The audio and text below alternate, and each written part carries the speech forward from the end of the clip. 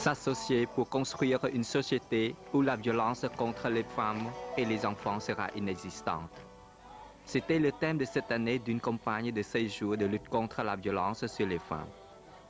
Cette campagne s'est achevée le 10 décembre lors de la Journée mondiale des droits de l'homme. Le samedi dernier, sur l'esplanade devant le Wat un concert a été organisé par une ONG locale, le Réseau des hommes cambodgiens. L'objectif de cette manifestation publique est d'impliquer les hommes dans le combat contre la violence domestique.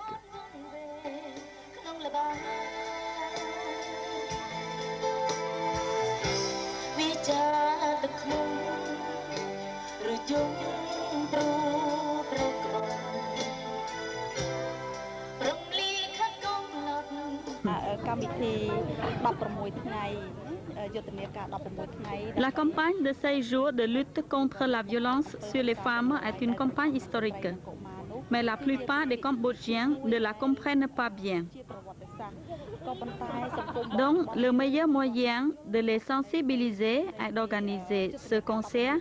pour qu'ils aient facilement accès aux informations pour lutter contre la violence.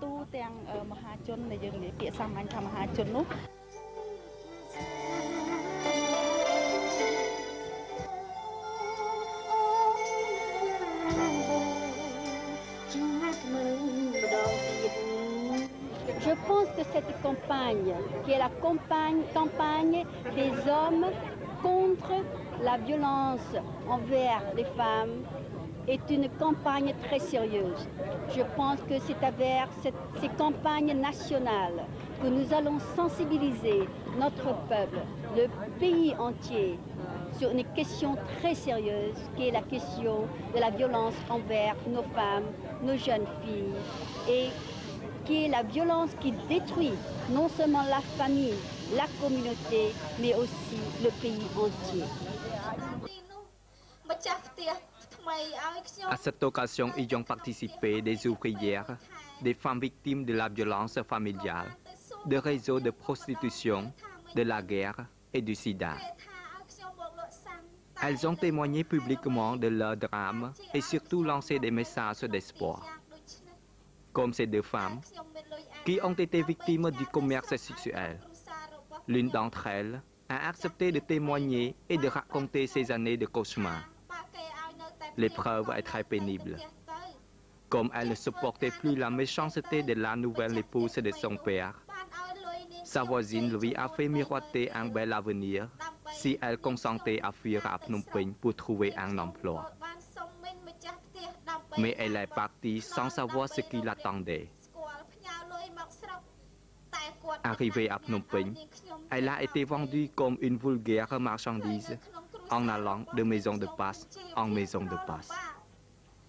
Malgré ce travail, elle ne disposait d'aucun revenu et ne pouvait pas donc aider ses parents.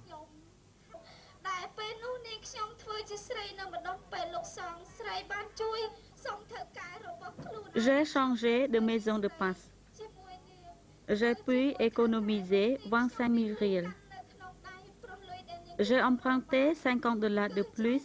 à mon patron pour aller rendre visite à mes parents à la campagne. កែនោះបានប្រហែល La situation est pénible. លុយបានប្រមាណ J'ai acheté des vivres pour eux. Mon père m'a demandé où j'habitais. Je lui ai menti et lui ai dit que j'avais un mari à Phnom Penh.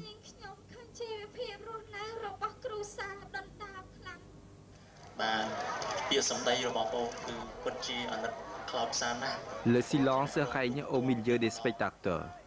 Sur les visages, surtout sur ceux des femmes, des expressions de tristesse et de compassion se lisent.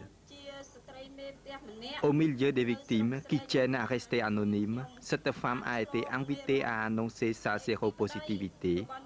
et à raconter l'exclusion qui l'avait frappée par la suite.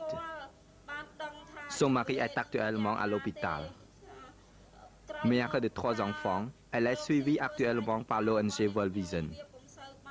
À cause de la pauvreté, elle a envoyé son mari travailler en ville en espérant améliorer ainsi leur niveau de vie.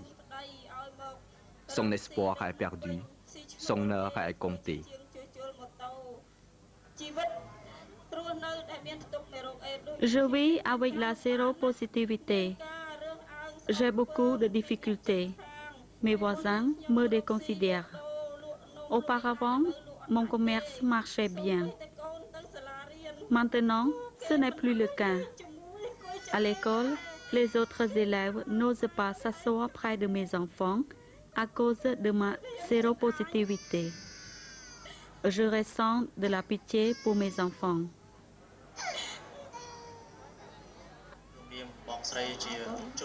À l'instar de la prostitution, la violence au sein des familles est émotionnellement trop lourde et socialement trop taboue pour que ses victimes osent venir en témoigner à visage découvert.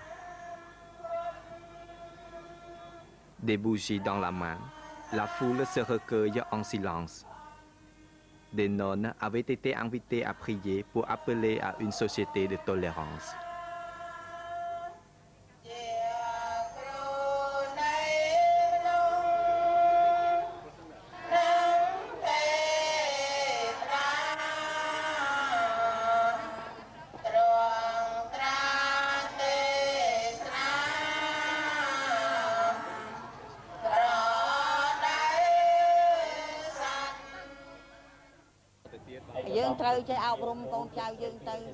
Nous devons éduquer nos enfants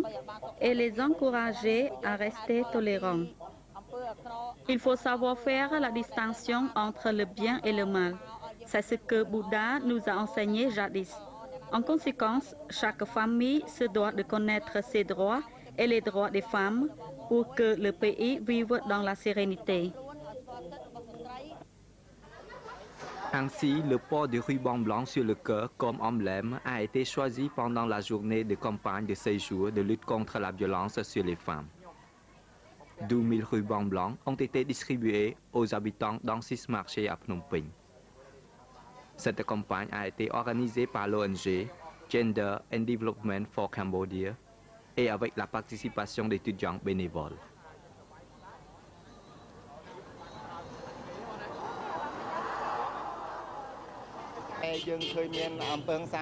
On sait que la violence familiale existe au Cambodge. On tente de dire que c'est seulement un problème interne. Donc, c'est rare de voir les voisins ou les autorités intervenir, même si le mari a gravement blessé sa femme. Donc, cette campagne a pour but de sensibiliser la population et d'éradiquer la violence familiale dans notre société. ជួយការអប់រំគ្នាអាជ្ញាធរមានការយល់ដឹងឲ្យគេចូលរួមក្នុងការធ្វើការទប់ស្កាត់ En tout cas, au vu de la situation actuelle, il est difficile de connaître le chiffre exact des victimes de la violence familiale. Pour réduire ce taux, le gouvernement a intérêt à adopter des lois efficaces. Pour condamner les responsables et pour que les femmes victimes réussissent enfin à dormir tranquillement un jour.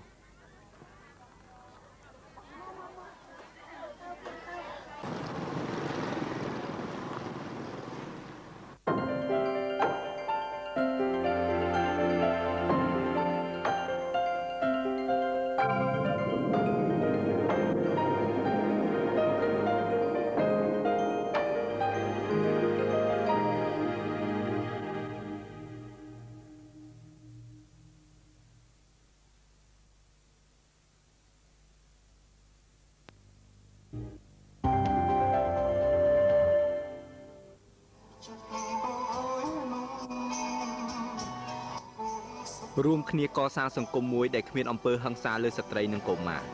នេះគឺជាប្រធានបទសម្រាប់ឆ្នាំនេះក្នុងយុទ្ធនាការ16ថ្ងៃដើម្បីបញ្ឈប់អំពើហិង្សាប្រឆាំងនឹងស្ត្រី ជារៀងរាល់ឆ្នាំនៅប្រទេសកម្ពុជា ទាំងក្រមស្ត្រីនិងក្រមបុរសបានបដិញ្ញាចិត្តរួមគ្នានៅក្នុងការកសាងសង្គមមួយប្រកបទៅដោយសន្តិភាពនិងយុត្តិធម៌សម្រាប់មនុស្សលោករយៈពេល16ថ្ងៃនេះ គឺគឺចាប់ផ្ដើមពីថ្ងៃទី25ខែវិច្ឆិកាត្រូវនឹងទិវាអន្តរជាតិដើម្បីលុបបំបាត់អំពើហិង្សាលើស្ត្រីរហូតដល់ថ្ងៃទី10ខែធ្នូត្រូវនឹងទិវាសិទ្ធិមនុស្សអន្តរជាតិកាលពីថ្ងៃសៅរ៍សប្តាហ៍កន្លងទៅនេះនៅទីវាលមុខវត្តបទុមការប្រគំតន្ត្រីមួយត្រូវបានរៀបចំឡើងដោយអង្គការបណ្ដាញបរោះកម្ពុជា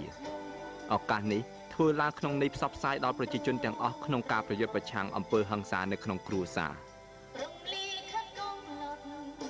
កម្មវិធី16ថ្ងៃ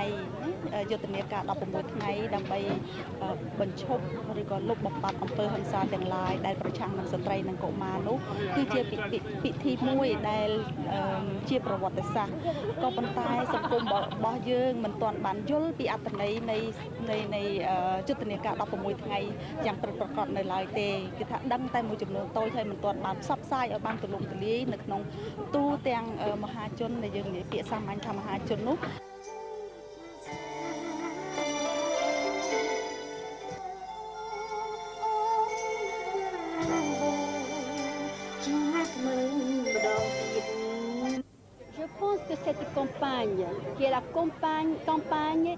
ខ្ញុំគិតថាយុទ្ធនាការនេះគឺជាយុទ្ធនាការមួយសម្រាប់បុរសនៅក្នុងការប្រយុទ្ធប្រឆាំងទៅនឹងអំពើហិង្សាលើស្ត្រីនេះគឺជាយុទ្ធនាការថ្នាក់ជាតិនិងសមស្រប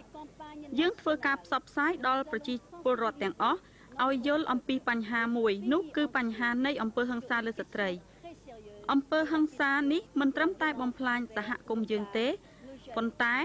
ថែមទាំងប៉ះពាល់ដល់សង្គមជាតិទាំងមូលទៀតផង la communauté mais aussi le pays entier ម្ចាស់ផ្ទះនៅក្នុងរាត្រីនេះដែរគេសង្កេតឃើញមានសមាជិកចូលរួមដូចជាកម្មការនីរោងចក្រ ស្ត្រីរងគ្រោះដោយអំពើហិង្សាក្នុងគ្រួសារដោយសង្គ្រាម និងដោយជំងឺស៊ីដាពួកគាត់បានសម្រេចចិត្តឡើងមករៀបរាប់អំពីប្រវត្តិដ៏ជូរចត់ដ៏ខ្លោចផ្សារបស់គាត់ខ្ញុំមកនៅតែក្នុងផ្ទះយ៉ាងដូចនេះតើខ្ញុំមានលុយអាណាដើម្បីផ្ញើទៅស្រុកឲ្យក្រុមគ្រួសាររបស់ខ្ញុំម្ចាស់ផ្ទះថ្មីនោះបានប្រាប់ខ្ញុំឧទាហរណ៍ស្ត្រី2នាក់នេះពួកគាត់ត្រូវបានរងគ្រោះដោយការជួញដូរផ្លូវភេទ គាត់បានរៀបរាប់អំពីដំណើរហេតុពីការរងគ្រោះនេះដោយគាត់មិនអាចទ្រាំទ្រនឹងភាពមើលងាយមើលថោកពីសំណាក់ម្ដាយចុងថ្ងៃមួយមានស្ត្រីចំណាស់ម្នាក់បានមកបបួលនារីរងគ្រោះនេះទៅធ្វើការនៅទីក្រុងភ្នំពេញគាត់ក៏បានសម្រេចចិត្តចាកចេញពីភូមិកំណើតមកភ្នំពេញដោយពុំដឹងថានឹងមានអ្វីកើតឡើងចំពោះរូបគាត់ទេពេលមកដល់ទីក្រុងភ្នំពេញគាត់ត្រូវបានគេយកទៅលក់ដោយសត្វធាត ពីផ្ទះបនមួយទៅផ្ទះបនមួយទៀតនាងពុំដែលបានទទួលប្រាក់សូម្បីតែមួយកាក់ក្នុងការផ្ញើទៅឪពុកម្ដាយឡើយតែពេលនោះនាងខ្ញុំធ្វើជាស្រីនៅម្ដុំពេលលោកសងស្រីបានជួយសុំធ្វើការរបស់ខ្លួនឲ្យនាងខ្ញុំនៅធ្វើជាស្រីជាមួយនាងនៅជាមួយថៅកែនោះនាងខ្ញុំមានលុយកាន់នៅក្នុងដៃប្រុសលុយដែលនាងខ្ញុំរកបាន គឺចាយពាក់កណ្ដាលម្នាក់ជាមួយនឹងថៅកែ ក្រោយពេលនាងខ្ញុំនៅជាមួយថៅកែនោះបានប្រហែលនាងខ្ញុំអាចសន្សំលុយបានប្រមាណ250,000រៀលហើយនាងខ្ញុំក៏ខ្ចីលុយថៅកែនោះបាន50ដុល្លារអាមេរិកថែមទៀតដើម្បីទៅលេងស្រុកពេលទៅដល់ស្រុកភ្លាមនាងខ្ញុំឃើញជីវភាពរស់នៅរបស់គ្រូសាដុនដាបខ្លាំងនាងខ្ញុំក៏បានជួយទិញអង្គខ្លះប៊ីចេងមួយចំនួនទុកឲ្យឪពុកម្ដាយបក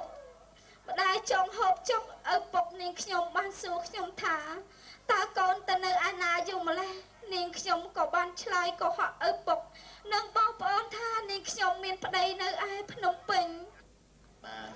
ពាក្យសម្ដីរបស់បងគឺពិតជាអាណិតខ្លោចផ្សាណាស់តែបងជាអ្នករងគ្រោះផ្ទាល់អ្នកចូលរួមទាំងអស់ស្ថិតនៅក្នុងភាពស្ងៀមស្ងាត់ទុកមុខរបស់គេមានភាពស្រងូតស្រងាត់បញ្ជាក់ពីការអាណិតដល់ស្ត្រីទាំងពីរនាក់នេះខ្ញុំជាស្ត្រីមេផ្ទះម្នាក់ ក្នុងចំណោមស្ត្រីរងគ្រោះដែលសុំមិនបញ្ចេញឈ្មោះទាំងអស់នេះស្ត្រីម្នាក់នេះក៏ត្រូវបានគេអញ្ជើញឲ្យមករៀបរាប់អំពីការឆ្លងជំងឺអេដពីប្តីរបស់គាត់ដែរសប្តាហ៍ថ្ងៃនេះគាត់រស់នៅក្នុងភូមិដោយគ្មានញាតិមិត្តណារាប់រកគាត់ទេប្តីរបស់គាត់សប្តាហ៍ថ្ងៃសម្រាប់នៅក្នុងមន្ទីរពេទ្យស្ត្រីមានកូន3នាក់រូបនេះរស់នៅក្រោមការឧបត្ថម្ភរបស់អង្គការទស្សនពិភពលោកដោយសារគ្រួសាររបស់អ្នកមីងក្រីក្រពេកគាត់ក៏បានសម្រេចចិត្តបញ្ជូនប្តីមកឲ្យធ្វើការរកស៊ីនៅភ្នំពេញ ដោយសង្ឃឹមថាថ្ងៃណាមួយជីវភាពនឹងបានប្រសើរឡើងប៉ុន្តែសេចក្តីសង្ឃឹមរបស់គាត់ត្រូវរលាយសូន្យរស់នៅដែលមានផ្ទុកមេរោគអេដដូចអ្នកខ្ញុំនេះមានការលំបាកណាស់មានការរើសអើងស្អប់ពើមពីអ្នកចិត្តខាង ពីមុននាងខ្ញុំរកស៊ីលក់ដូរលក់នំលក់អីដាច់ឥឡូវលក់អត់ដាច់ទេ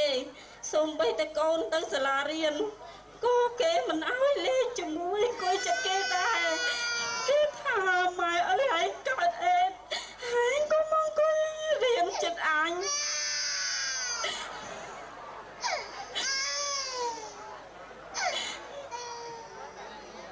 នាងបងស្រីជាជនរងគ្រោះរោប្រសាបាទបាទលោកព្រៀបសវត្តផ្ទាល់ក្នុងឱកាសយុទ្ធនាការ16ថ្ងៃស្ដីពីអំពើហិង្សាលើស្ត្រីនេះក៏មានការអុជទៀនផងដែរដើម្បីរំលឹកដល់ជនរងគ្រោះដោយសារអំពើហិង្សា ម្នាក់ម្នាក់កាន់ទៀននៅក្នុងដៃប្រកបដោយភាពសញ្ជប់សញ្ជឹងដូនជីក៏បានបន្លឺសូរស័ព្ទធរអំពាវនាវសូមឲ្យសង្គមកម្ពុជាលែងមានអំពើហិង្សា ហើយប្រែក្លាយទៅជាសង្គមមួយដែលមានភាពអព្យាស្រ័យគ្នាទៅវិញទៅមក។။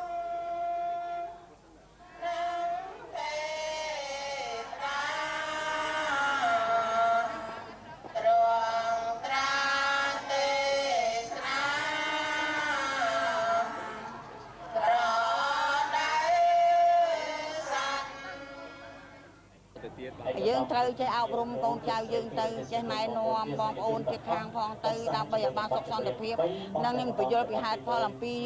អំពើអាក្រក់អាក្រក់និងអំពើល្អដែលព្រះសម្មាសម្ពុទ្ធលោកចងក្រងទុកមកឲ្យយើងប្រព្រឹត្តអំពើល្អអ្នកណាធ្វើល្អតែបានទទួលផលល្អអ្នកណាធ្វើអាក្រក់តែបានទទួលផលអាក្រក់ក៏ដូច្នោះហើយយើងត្រូវចេះអប់រំពីគ្រួសារមួយទៅគ្រួសារមួយបងប្អូនទៅបងប្អូនមួយដើម្បីឲ្យចេះស្គាល់សិទ្ធិរបស់ខ្លួនឲ្យស្គាល់សិទ្ធិរបស់ស្ត្រី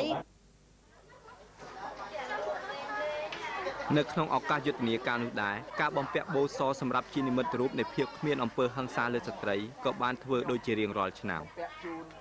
បូសចំនួន12000ត្រូវបានបំពាក់ជូនដល់បងប្អូនប្រជាពលរដ្ឋលក់ដូរនៅក្នុងផ្សារចំនួន6ក្នុងរាជធានីភ្នំពេញយុទ្ធនាការនេះរៀបចំឡើងដោយអង្គការ Gender និងអភិវឌ្ឍដោយមានការចូលរួមផងដែរពីសំណាក់និស្សិតស្ម័គ្រចិត្ត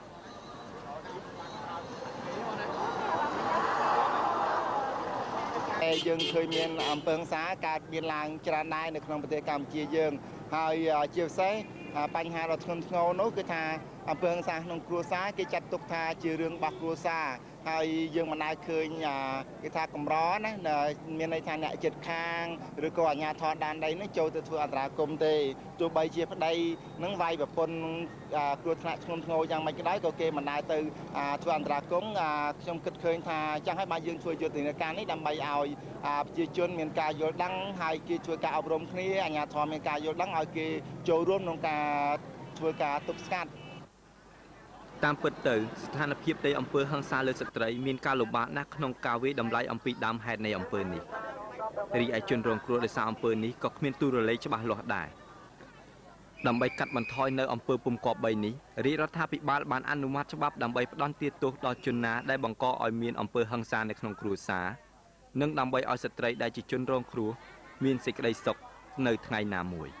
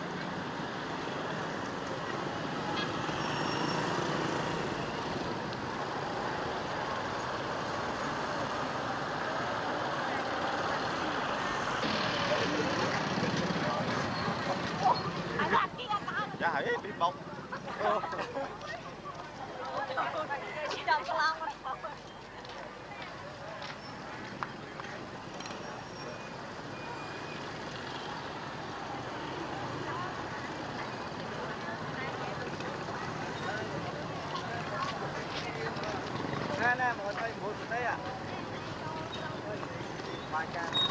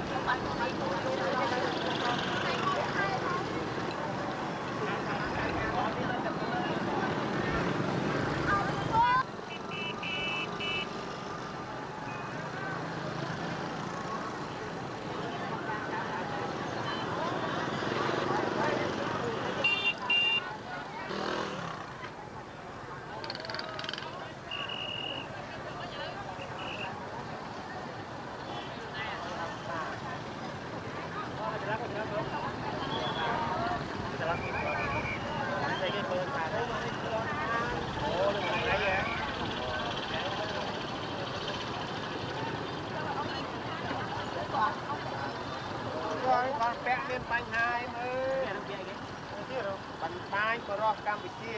ដើម្បីកម្ចាត់ធ្វើអង្សារប្រឆាំងស្ត្រីស្ត្រីនេះខាងពើហ ংস ាប្រឆាំងនឹងស្រីចាច់អាកាចាច់កណ្ដាលវាយគ្នាវាយគ្នារាល់ថ្ងៃទៅបីគ្នាទៅមកបាទបាទបាទ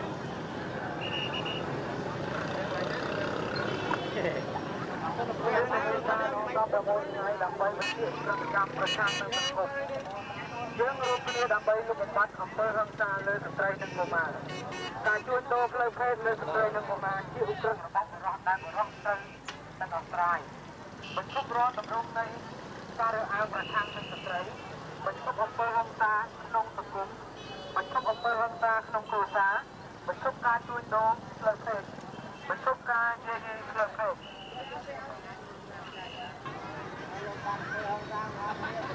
បាទអរគុណថ្ង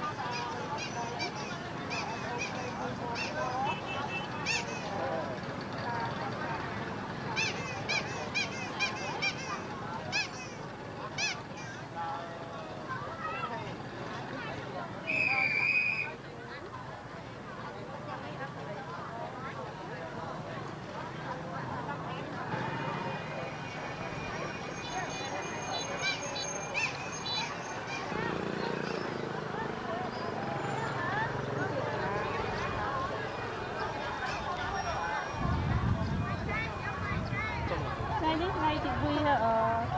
បងពាក់ខ្សែបូពណ៌សដើម្បីតំណាងការប្របាប់អំពើហិង្សាលើស្ត្រីប្រឆាំងរងអំពើហិង្សាលើស្ត្រីទាំងអស់នេះបងជួយគ្រប់គ្រងក្នុងអត្ថន័យនេះផងណាចាចា និយាយសួរ គាត់តើគាត់មានដែលធ្លាប់មានអំពើហិង្សាអីលើអីគាត់ទេដែលសាកសួរគាត់បងក្នុងគ្រួសារបងជាប់ដែរមានអំពើហិង្សាអីពីគ្រួសារមកពីសំណាក់សាលាផ្សេងអូចាដែរចាំមានអញ្ចឹងការល្អអញ្ចឹងបងជួយសិក្សាយល់ផងណាចា10មានថែមទៀតបាទហើយបើស្ត្រីវិញវគ្គហ្នឹងទ្រាំទ្រសកម្មភាពថាបុរសហ្នឹងសន្យាថាឈប់ប្រព្រឹត្តអំពើហិង្សាគាត់ទ្រាំទ្រសកម្មភាពទាំងអស់ហ្នឹងចឹងណាបាទសូមអរគុណហើយអរតាអ៊ំហើយក្នុងក្រុមគ្រួសារអ៊ំហ្នឹងហើយមានបញ្ហាយ៉ាងណាដែរសូមអ៊ំជួយបញ្ហាបង្ហាញពីទេតយាណាសូមទោសបាទអរគុណ តែមានទេអត់អត់ទេ បូនគឺជាខ្សែបូតំណាងឲ្យកាត់បន្ថយនៅភាពរសាយក្នុងគ្រួសារអញ្ចឹងបងប្រុសមានន័យថាពាក្យខ្សែបូនឹងហើយសូមប៉ុន្តែអ្វីត្បិតតែបងប្រុសមិនដែលធ្លាប់មានអំពើក្នុងគ្រួសារក៏ដោយក៏ប៉ុន្តែជួយសកម្មភាពនេះដើម្បីកើតឡើងនៅក្នុងសង្គមជាតិរបស់យើងទាំងមូលបងប្រុសបាទអរគុណច្រើនហើយនេះបងស្រី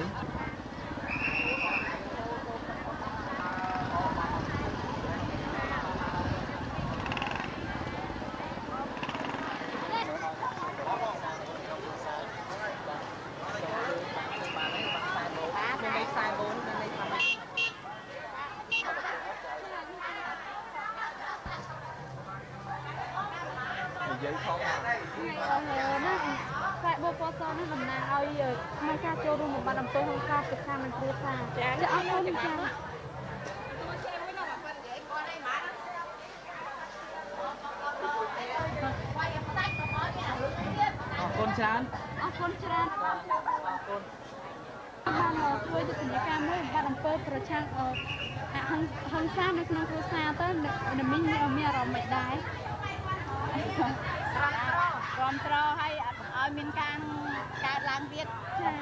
ស្រីស្រីខ្មែរយើងផងចាអញ្ចឹងថ្ងៃនេះយើងបំពាក់ខែបូសឲ្យដើម្បីមានអត្ថន័យថាចូលនៅមីងបានចូលរួមក្នុងការបំបត្តិអំពើហិង្សាក្នុងគ្រួសារចាចាចា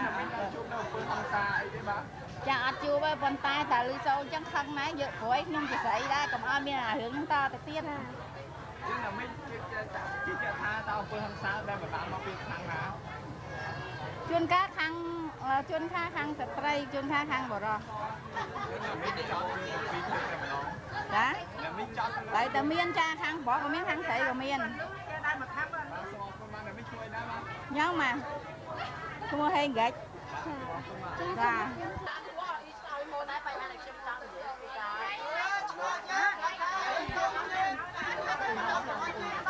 chúng con chỉ ra ca biết đọc lời ca mình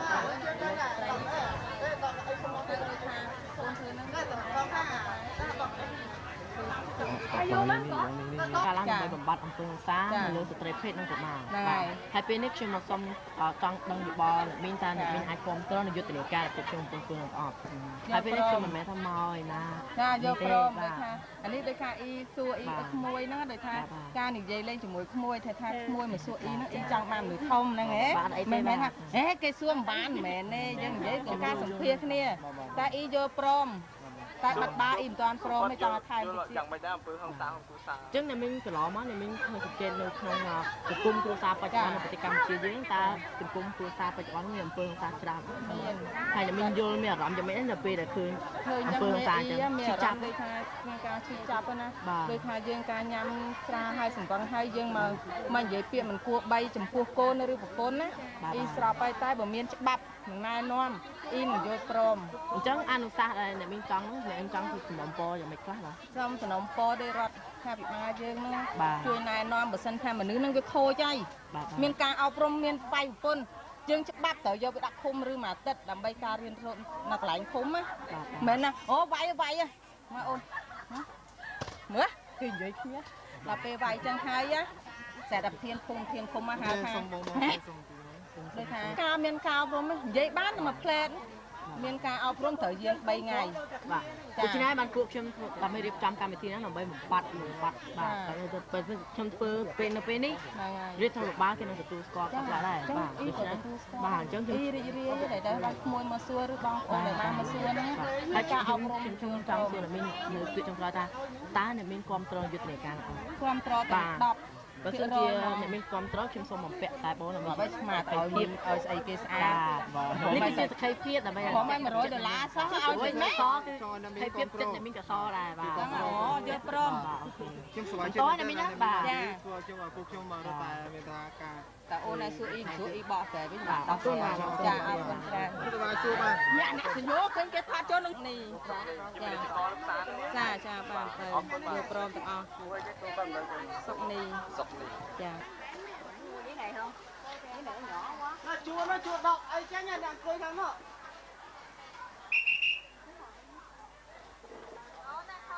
ឌីខ្ញុំនៅចាំហ្នឹងឌីណាបាទបាទ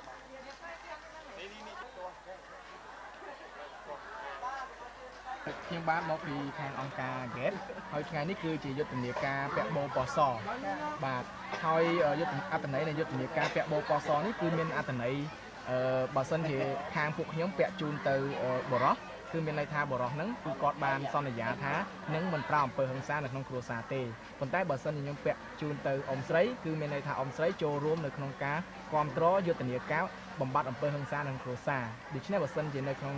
គ្រួសាររបស់អ៊ំស្រីឬក៏គ្រួសារអ្នកជិតខាងមានប្រាអំពើហិង្សាគឺមានន័យថាយើងទាំងអស់គ្នាត្រូវតែរួមគ្នាបំបត្តិអំពើហិង្សាហ្នឹងជាដាច់ខាតគឺយើងមិនធ្វើឲ្យអំពើហិង្សាហ្នឹងលេចឡើងនៅក្នុងសង្គមកម្ពុជាយើងទៀតទេអញ្ចឹងតើអ៊ំស្រីយល់ព្រមអឺឲ្យខ្ញុំបំពាក់បោពណ៌សនេះជូនអ៊ំស្រីទេតើអ៊ំស្រីគ្រប់គ្រងទេគាត់ធ្វើប៉ុន្តែ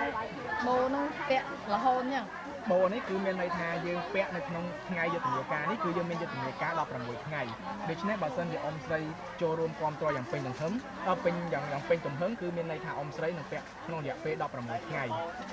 បាទខ្ញុំសង្ឃឹមថាអ៊ំស្រីនឹងបាទគេខ្ញុំសូមបំពាក់ជូនអ៊ំស្រីអីមកពាក់បាទបាទអូស្រី ឈើអឺចឹងកន្លងមកតើអ៊ំស្រីមានដែលជួបប្រទះអំពើហិង្សានៅក្នុងគ្រួសារបងមែនទេបើអត់មែនទេគ្រួសារអ៊ំស្រីគឺពិតជាមានសុភមង្គលក្តីសុខល្អមែនទេចឹងតើអ៊ំស្រីមានដែលឃើញថានៅចិត្តខាងអ៊ំស្រីមានអំពើហិង្សាទេមានអូយើងអ្នកចិត្តខាងព្រលឹមឡើងយើងចេញមហោស៊ីយើងអត់ដឹងអូខេអត់ដឹងប៉ុន្តែអ៊ំស្រីអឺមានធ្លាប់បានឮពីអំពើហិង្សាក្នុងគ្រួសារទេ អត់ដែលឮទេអញ្ចឹងនៅនៅម្ដុំចិត្តខាងបងអ៊ំស្រីគឺពោពេញទៅដោយស្ដីសុភមង្គលបាទអញ្ចឹងខ្ញុំអរគុណអ៊ំស្រីច្រើនបាទអរគុណបាទ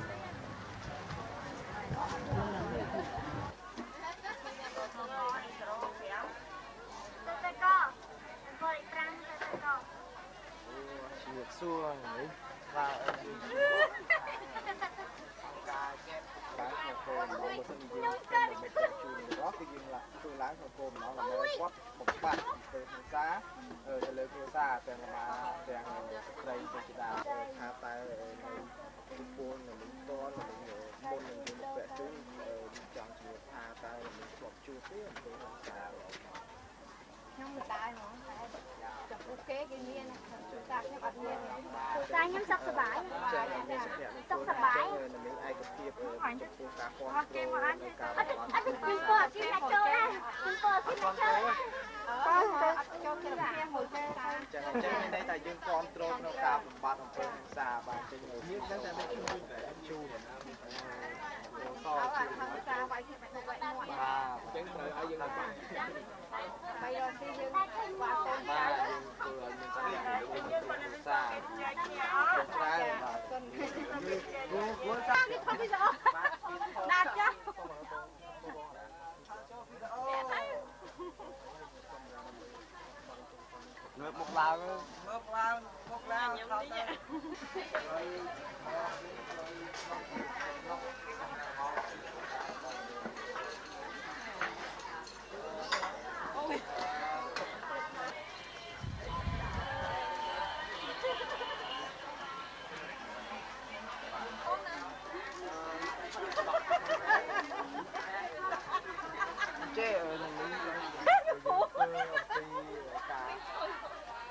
ច់ចាងើបមុ ខឡើងងើបឡើងមុខឡើងខ្ញុំនេះសាលើទាំងកុមារទាំងស្ត្រីយើងនៅថាយើងប្រឆាំងយើងធ្វើនឹងធ្វើតាមចឹងយើងធ្វើនេះវិធានការយើងធ្វើនេះវាមិនជាយើងបំពាក់គុណបរិបមានន័យថាយើងឲ្យបរិបគាត់និយាយខ្លួនគាត់ថាគាត់បញ្ឈប់ការអញ្ចឹងបើបើសិនជាយើងខ្ញុំសូមអនុញ្ញាតពាក់ជើងនេះមានន័យថាមិននឹងគ្រប់គ្រងចំពោះការបញ្ឈប់អំពើហិង្សានេះមែនទេបាទអត់ពាក់យើងយើងពាក់ដើម្បីជាសក្ខីភាពក្នុងការយើង គ្រប់គ្រងទាំងអស់គ្នាមែនទេអញ្ចឹងយើងអាចពាក់បានទេបាញ់អត់គាត់ពាក់ខ្លួនគាត់អញ្ចឹងអញ្ចឹងមិននឹងពាក់ខ្លួនឯងជានិមិត្តរូបក្នុងការគ្រប់គ្រងបំផាត់អំពើហិង្សាទាំងលើកុមារទាំងលើស្ត្រីជាដើមបាទ ហើយនៅក្នុងសង្គមគ្រួសារនេះដែលធ្លាប់មានអំពើហិង្សានោះទេខ្ញុំមានតែចង់មានសុភមង្គលគលអត់ណាស់ហ្នឹងបាទអរគុណច្រើនទេនឹងមានមកពាក់ជូនមួយខ្លួនឯងទេគាត់ឯងមួយឲ្យគាត់ពីពាក់ពាក់ខ្លួនឯងមួយខាងនេះខាងឆ្វេងខាងខាងខាងបាទអរគុណច្រើនណាស់បាទសួរអឺអឺតើកញ្ញាឈ្មោះដែរ បាទអូឈ្មោះរ៉ូមែនថ្ងៃនេះអង្គការ Get យើងខ្ញុំគឺមានយុទ្ធនាការមួយឈ្មោះថាយុទ្ធនាការបោពណ៌សហើយអត្តន័យនៃយុទ្ធនាការបោពណ៌សនេះគឺមានអត្តន័យថាបើសិនជាខ្ញុំបំពាក់ជូនទៅខាងបរោះឬក៏កុមារាគឺមានន័យថាបរោះនិងកុមារាបានប្រឆាំងដាច់ខាតទៅនឹងអំពើហិង្សាប៉ុន្តែបើសិនជាខ្ញុំពាក់បោពណ៌សនេះជូនទៅកាន់ ស្ត្រីឬក៏កុមារី គឺមានន័យថាពួកគាត់នឹងចូលរួមនៅក្នុងការប្រយុទ្ធប្រឆាំងនឹងអំពើហិង្សាក្នុងគ្រួសារអញ្ចឹងខ្ញុំចង់ជំរាបសួរកញ្ញាថាតើកញ្ញាយល់ព្រមនៅក្នុងការអនុញ្ញាតឲ្យខ្ញុំពាក់បូសនេះដើម្បីប្រឆាំងគាំគាំទ្រទៅនឹងការប្រឆាំងអំពើហិង្សាគ្រួសារទេកញ្ញាពិតជាគ្រប់គ្រងពេញទំហឹងតែម្ដងអញ្ចឹងកញ្ញាត្រូវពាក់ក្នុងរយៈពេល16ថ្ងៃពីព្រោះយុទ្ធនាការយើងគឺ 16ថ្ងៃហើយនៅថ្ងៃទី8នៅថ្ងៃទី8ខែធ្នូនេះគឺយើងមានការប្រគំតន្ត្រីមួយនៅមុខវត្តបតុមដូច្នេះកញ្ញាប្រហែលជានឹងចូលរួមនៅក្នុងការប្រគំតន្ត្រីរបស់យើងហើយតើខ្ញុំអាចសុំពាក់បានទេអូខេយើងអាចពាក់ខ្លួនឯងបាន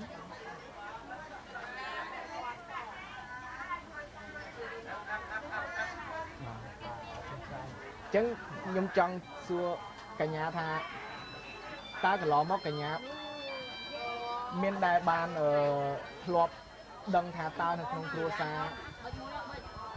របស់កញ្ញាឬក៏គ្រួសាររបស់អ្នកចិត្តខាងរបស់កញ្ញាមានជួបប្រទះនៅអំពើហិង្សាទេចាក្នុងគ្រួសារខ្ញុំអត់មានបញ្ហាគឺតាមគឺមានសុភមង្គលណោះចុះគ្រួសារអ្នកចិត្តខាងវិញក្នុងពួកខ្ញុំមានអីបញ្ហាចុះអ្នកនៅក្នុងតូបចិត្តតូបយើងអត់អីដែរអត់អីដែរណោះអូខេចុះចំណែកកញ្ញាវិញសូមជូនមួយ ហើយកញ្ញាចូលរួមនៅក្នុងការប្រាប់អឺលោកបំបត្តិពើហិង្សាអញ្ចឹងកញ្ញាអាចពាក់វែកបានបាទហើយតើកញ្ញាមានធ្លាប់បានលឺឬក៏ធ្លាប់បានជួបប្រទះនៅអំពើហិង្សាគ្រួសារទេអត់ដែរเนาะអឺអញ្ចឹងយើងក៏អត់មានបានដឹងថាតើអំពើហិង្សាក្នុងគ្រួសារហ្នឹងកើតមាននៅក្នុងភូមិយើងដែរយើងបាទអញ្ចឹងខ្ញុំសូមអរគុណបាទខ្ញុំច្រើនហើយថ្ងៃទី8ខែ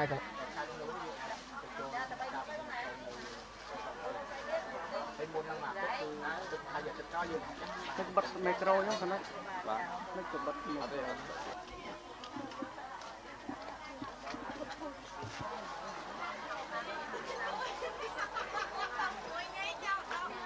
ើបងអាចថ្លៃបងនឹងចូលនឹងបាក់ណា ខ្លួនយកអញ្ចឹង អញ្ចឹងអញ្ចឹងមានន័យថាអាចជួយអញ្ចឹងហ៎អូខេអញ្ចឹងតើប្រពន្ធបងបងនៅនៅទៅជ័យណាអញ្ចឹងប្រពន្ធរបស់បងបានប្រើព្រឹងសារបងបាទអូខេគេដែរវាយបងហ៎មានដែរវាយបងទេគាត់មានដែរវាយបងទេកម្មមកថតហើយអូយចេញកម្មទៅបោហត់ពាក់បោហត់ទេម្ដងទៀតពាក់បោម្ដងទៀត អត់ចូលមើលគេហ្នឹងអាចទៅវិញអីដាក់បរិយចុះហើយធ្វើជាភាពរៀបសារមើលបងពុននឹងកាប់បោពណ៌សនេះគឺថាន័យថាបងបានចូលរួមនៅក្នុងការលុបបំបាត់អំពើហិង្សាបាទបងកន្លងមក បងបងកន្លងមកបងនៅជួយបញ្ហានៅអំពើអំពើហង្សាក្នុងគ្រួសារដែរទេអ៊ីឡើយនិយាយនឹងនិយាយអីដឹងនិយាយពីអីចង់និយាយពីអីខ្ញុំមិនសូវចេះតបនិយាយបងចេះចេះនិយាយប៉ុណ្ណឹងដែរជួយនៅអំពើហង្សាក្នុងគ្រួសារទេកន្លងមកអារឿងក្នុងក្រុមគ្រួសារខ្ញុំឯងក្នុងក្រុមគ្រួសារខ្ញុំតតែមានអំពើហិង្សាអីគាត់ថាមានការខ្វះខាតហ្នឹងគឺ ជួបមានការចំណោះប្រាក់តែងជាមួយប្តីប្រពន្ធខ្លះខ្លះដែរមិនមែនអត់ទេខាតជីវិតនេះព្រោះនេះអត់ជើពេលដែលបងមានចំណងខ្លះខ្លះហ្នឹងតើកំហុសរបស់អ្នកណាគេឬកំហុសបងឬមួយកំហុសប្រពន្ធរបស់បងធម្មតាខ្ញុំដើរធ្វើកម្មខុស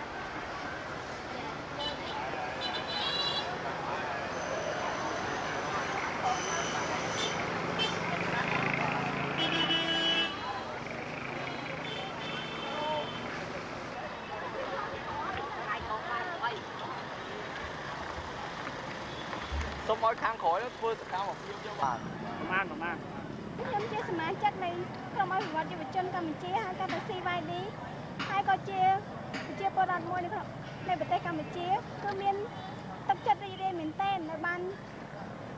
ចូលរួមនៅក្នុងយុទ្ធនាការបំពាក់ខ្សែបពសនេះហើយអត្ថន័យនៃការបំពាក់ខ្សែបពសចំពោះបរិសុទ្ធមានន័យថាសន្យានឹងឈប់ធ្វើអំពើហិង្សាលើស្ត្រីឬក៏ចូលរួម ក្នុងការបំបត្តិអំពើហិង្សាលើស្ត្រីហើយការបំពាក់ខ្សែបពសលើស្ត្រីមានន័យថាគឺជាការគ្រប់គ្រងដើម្បីបំបត្តិអំពើហិង្សាលើស្ត្រីតើចំពោះទស្សនៈរបស់ខ្ញុំផ្ទាល់តើយល់ថាអំពើហិង្សាក្នុងគ្រួសារនេះមានប្រភពចេញពីខាងបរិសុទ្ធឬមួយក៏ស្ត្រីដែរតាមដែលធ្លាប់មានតាមដែលធ្លាប់មានបទពិសោធន៍ឬក៏អឺរឿងដែលកន្លងមកធ្លាប់បានឮធ្លាប់ធ្លាប់បានឃើញនោះគឺយល់ថាភាគច្រើន គឺបណ្ដាលមកពីអឺមានប្រភពចេញមកពីបរិសុទ្ធដែលបរិសុទ្ធនេះគេធ្វើអីបានមានអំពើហិង្សាយើងវាយ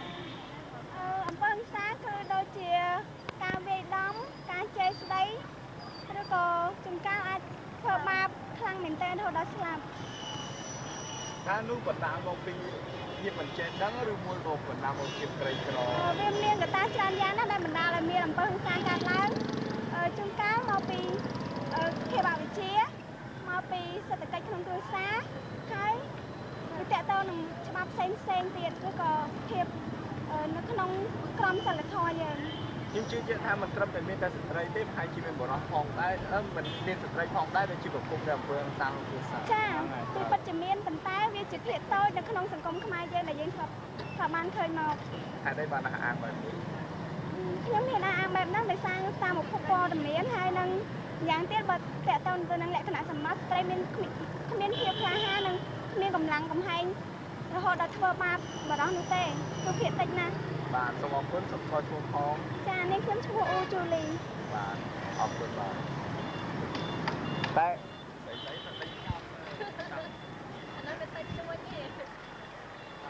រហែលជា10%ទៅហ្នឹង បាទជំរាបសួរអឺមូលហេតុអីបានបណ្ដាលឲ្យមានទីវាបំពាក់បតនេះឡើងនៅក្នុងប្រទេសកម្ពុជាអឺបាទខ្ញុំចង់ជំរាបជូនពីប្រវត្តិសាស្ត្របូបន្តិចអឺប្រវត្តិសាស្ត្របូពសហ្នឹងបានកើតឡើងនៅក្នុងឆ្នាំ1991នៅក្នុងប្រទេសកាណាដាដោយពេលនោះមានបរិសុទ្ធមួយក្រុមនៅក្នុងប្រទេសកាណាដាហ្នឹងបានរួមជាសម្ព័ន្ធគ្នា ដើម្បីបញ្ឈប់អំពើហិង្សាទៅលើស្ត្រីដោយគេយល់ឃើញថាបញ្ហាជាចម្បងគឺ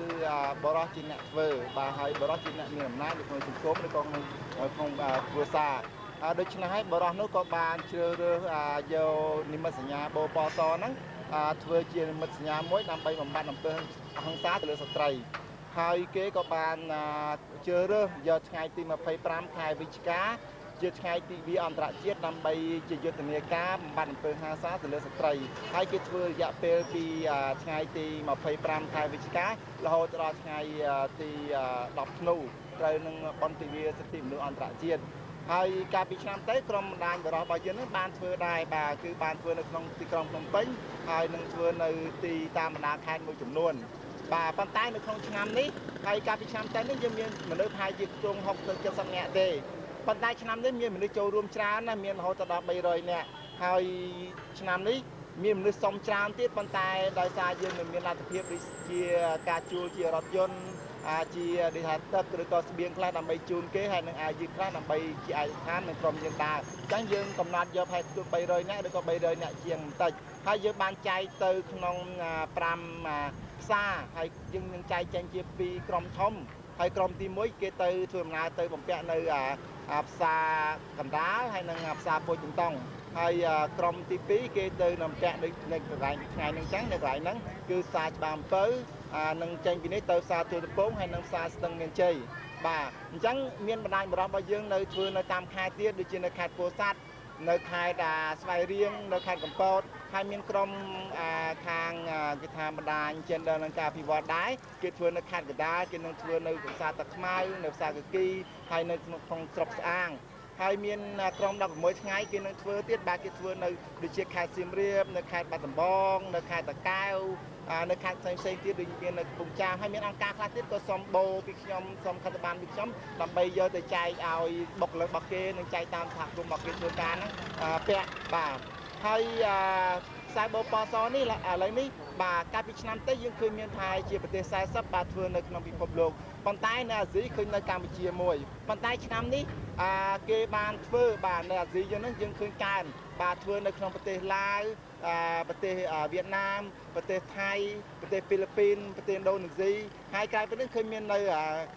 ចិននៅប្រទេសចិននៅប្រទេសម៉ុងហ្កូលីដែរជាដើមបាទអញ្ចឹងឃើញមានប្រទេសជាច្រើនចូលរួមនៅក្នុងធ្វើព្រឹត្តិការណ៍នេះ ហើយយើងក៏មានសកម្មភាពជាច្រើនដូចជាសិក្ខាសាលាការដើរជាក្បួនសាធារណៈអីជាដើមហើយកម្មវិធីពិសេសនោះគឺយើងធ្វើនៅថ្ងៃទី8បាទខែ8ខែ12ជាថ្ងៃបញ្ចប់នៃសកម្មភាពរបស់យើងបាទយើងនឹងធ្វើ concert ធ្វើធ្វើការប្រគំដូរតន្ត្រីជាសាធារណៈខ្ញុំមិនបានយកស្ថិតិមកជំរាបជូនប៉ុន្តែយើងឃើញមានអំពើហិង្សាកើតមានឡើងច្រើនដែរនៅក្នុងប្រទេសកម្ពុជាយើង ហើយជាពិសេសបញ្ហាដ៏ធ្ងន់ធ្ងរនោះគឺថាអំពើហិង្សាក្នុងគ្រួសារគេចាត់ទុកថាជារឿងរបស់គ្រួសារហើយយើងមិនដែលឃើញគេថាកម្រណាមានន័យថាអ្នកចិត្តខាងឬក៏អាជ្ញាធរដែនដីនេះចូលទៅធ្វើអន្តរាគមន៍ទេទោះបីជាប្តីនឹងវាយប្រពន្ធគ្រោះថ្នាក់ធ្ងន់ធ្ងរយ៉ាងម៉េចក៏ដោយក៏គេមិនដែលទៅធ្វើអន្តរាគមន៍ឬក៏កោះអញ្ជើញ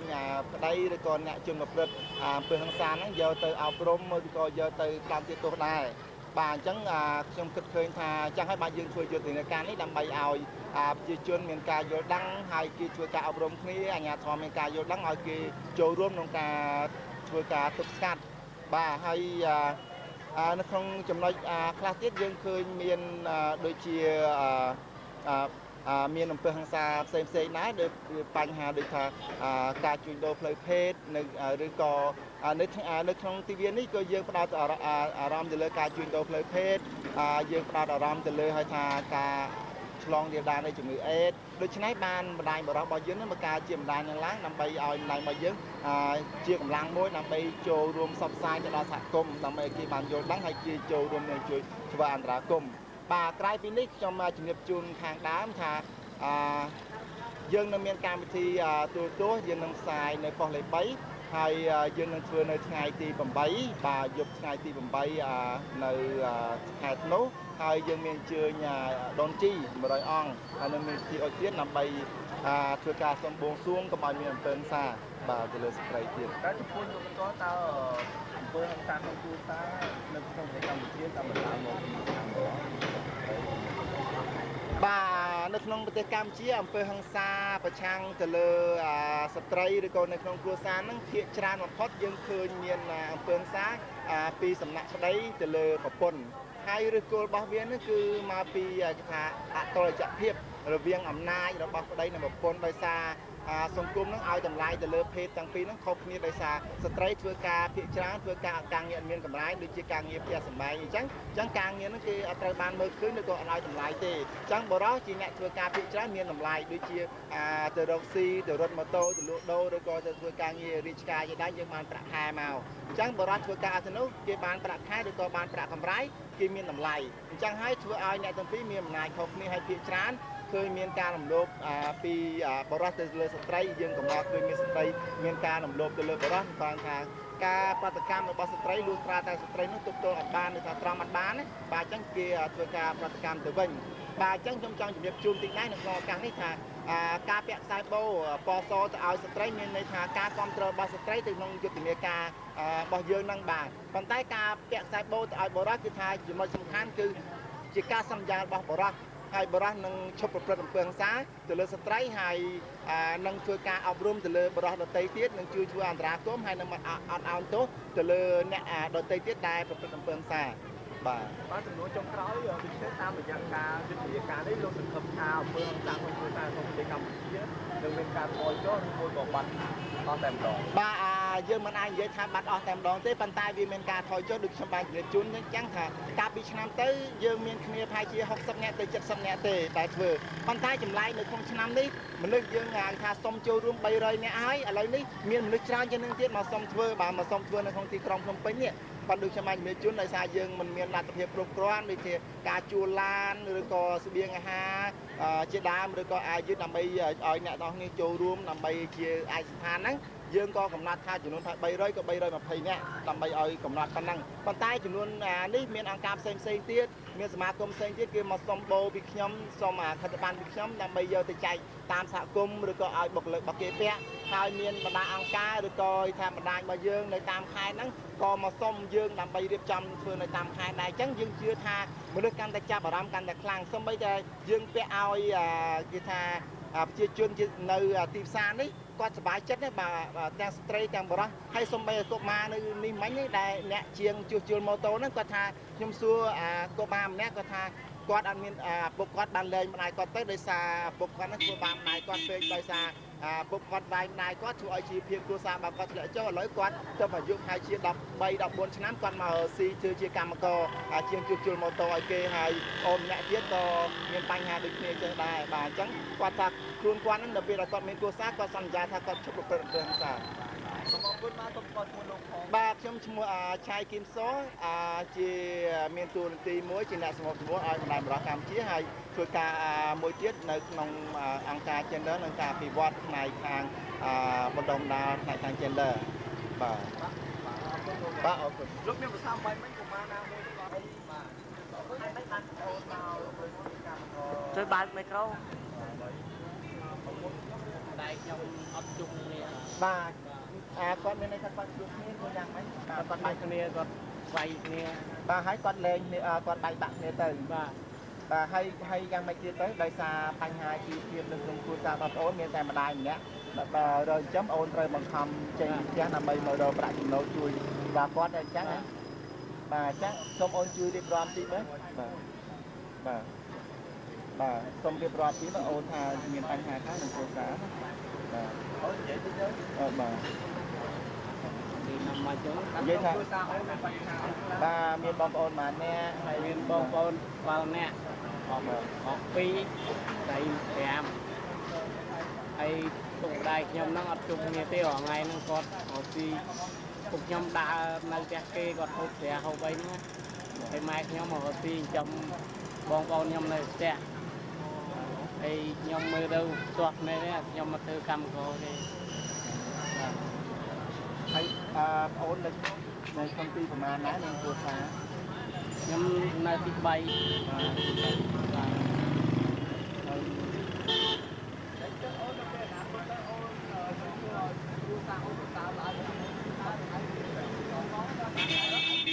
្ញុំខំប្រឹងយកចំណេះជានេះដើម្បីខ្ញុំចាំបងប្អូនខ្ញុំអនាគតតទៅមុខខ្ញុំមានអនាគតមិនដូចពុកម្ដាយខ្ញុំបាទបាទ ហើយអូនតាក់ខ្សែបូននេះអូនសន្យាយ៉ាងម៉េចណានៅពេលដែលអូនមាន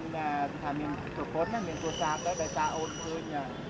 បញ្ហាកើតឡើងនៅជាឪពុកម្ដាយរបស់យើងប៉ុន្តែដល់ពេលយើងមានប្រពន្ធទៅយើងនឹងជួយយ៉ាងម៉េចដែរសន្យាយ៉ាងម៉េចដែរខ្ញុំសន្យាថាខ្ញុំមកមានប្រពន្ធទៅខ្ញុំមិនឆ្លោះប្រកែកមួយប្រពន្ធខ្ញុំនឹងស្រឡាញ់នឹងខំរកស៊ីដល់អនាគតដល់ប្រពន្ធកូនខ្ញុំបាទបាទអូនជួយដែរ ឈ្មោះអង្គអឺឈ្មោះប្រាអង្គឈ្មោះក្នុងសាលារៀនហៅពីចាន់ម៉ូនអាយុ19ឆ្នាំបាទតោះតោះពួកយើងឡើងឡានលឿនតិច